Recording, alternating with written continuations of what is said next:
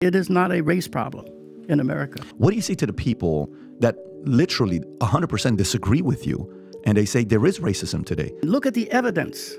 When whites were at their worst, we were at our best.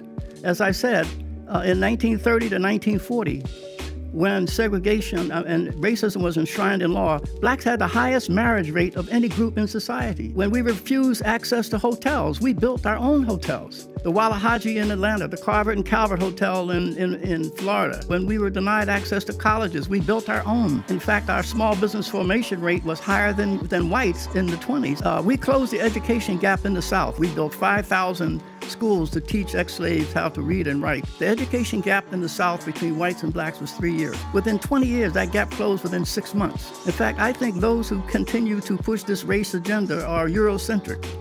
They assume that the destiny of blacks is determined by what white people do. That has never been the case.